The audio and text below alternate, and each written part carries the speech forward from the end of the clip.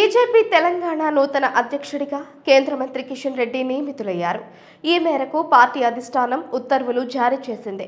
అదే సమయంలో Telangana BJP chief పదవికి బండి సంజయ్ రాజీనామా చేశారు. ఢిల్లీలోని పార్టీ జాతీయ అధ్యక్షుడు నడ్డాతో భేటీ అనంతరం బండి సంజయ్ రాజీనామా పత్రాన్ని సమర్పించారు.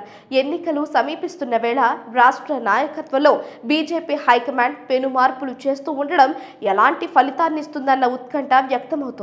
తెలంగాణ బీజేపీలో ప్రక్షాళన తథ్యమని గత కొంతకాలంగా గట్టిగా వినిపిస్తోంది.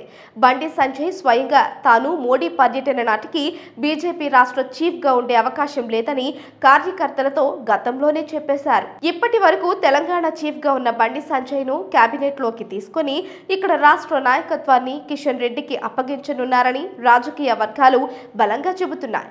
అయితే సోమవారం జులై మూడవ తేదీన కేబినెట్ భేటీలో మంత్రివర్గ పునర్వ్యవస్థీకరణకు సంబంధించి ఎటువంటి చర్చ జరగలేదని పార్టీ వర్గాలే చెబుతున్నాయి. తెలంగాణ అసెంబ్లీ ఎన్నికలకు కేవలం ఎనిమిది నెలల ముందు బీజేపీ అధిష్టానం పార్టీ రాష్ట్ర అధ్యక్షుడిని మారుస్తూ తీసుకున్న నిర్ణయం సాహసోపేతమని చెప్పాలి.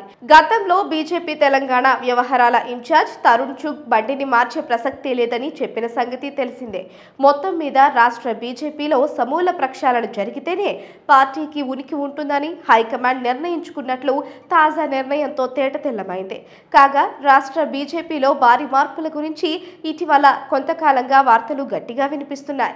ఈటల రాజేందర్కు బీజేపీ ప్రచార సారథ్య బాధ్యతలు అప్పగించవచ్చని చెబుతున్నారు. కిషన్ రెడ్డి కేంద్ర మంత్రి పదవిని వదులుకొని పార్టీ రాష్ట్ర అధ్యక్ష బాధ్యతలు చేపట్టేందుకు పెద్దగా సుముఖత చూపకుంటే ఆయనను కేవలం పార్టీ రాష్ట్ర అధ్యక్ష బాధ్యతలకు పరిమితం చేయకుండా బీజేపీ తన సంస్కృతిని పక్కన పెట్టేసి ముఖ్యమంత్రి అభ్యర్థిగా ప్రకటించే అవకాశాలు ఉన్నాయని అంటున్నారు. మొత్తంగా తెలంగాణలో అధికారం మాదే అనే స్థాయి నుంచి పార్టీని కాపాడుకుంటే చాలు అన్న స్థాయికి బీజేపీ దిగజారిందని ఇటీవలి పరిణామాలను బట్టి అర్థమవుతోంది. మరింత దిగజారక ముందే పార్టీలో ధిక్కారాన్ని అణిచివేసి మళ్ళీ పార్టీని విజయం దిశగా నడిపించేందుకు బీజేపీ హైకమాండ్ శక్తియుక్తుల్ని ఉపయోగిస్తున్నదని పరిశీలకులు అంటున్నారు. అయితే కేవలం నాయకత్వ మార్పుతోనే బీజేపీ గ్రాఫ్ పెరుగుతుందా? అంటే పరిశీలకులు అనుమానమనే అంటున్నారు.